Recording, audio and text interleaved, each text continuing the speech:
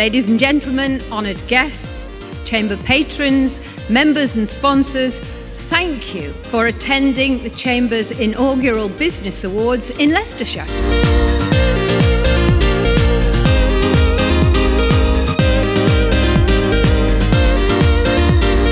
I think the evening's been brilliant, I have to say.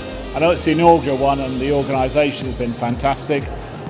I think the difference it will make to us is, I think it's immeasurable to be honest. I think the fact that, you know, the, we've, we've won this award, we will be promoting that throughout and I think it's, you know, it's the next stepping stone in the business growing.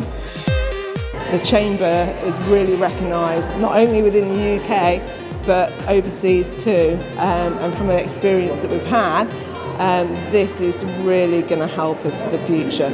I think anybody considering entering any awards with regards to the Chambers, do it.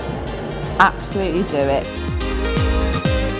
It was marvellous to be here in Leicester this evening to see these marvellous businesses being rewarded for their success and innovation.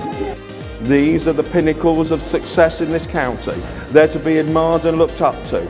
And they have got a duty to put something back in the local economy, in other business, for those points of excellence.